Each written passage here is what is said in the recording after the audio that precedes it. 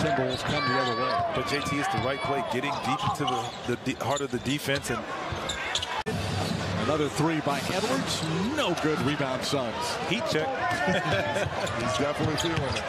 Suggs beats everybody down, but And then the other way, Gobert off the feed from Russell. I love the run out. I love getting the ball in quickly.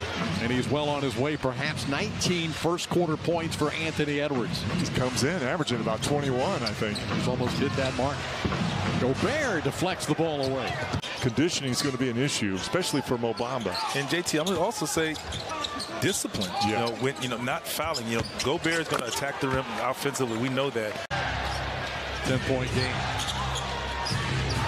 Towns attacking, lobs it up for Gobert, missed it, but follows it in. Suggs now has 23, 10 point game again. Towns found uh, Gobert for the second consecutive possession. Hold the beat gun. Again. Gobert. The foul on Suggs.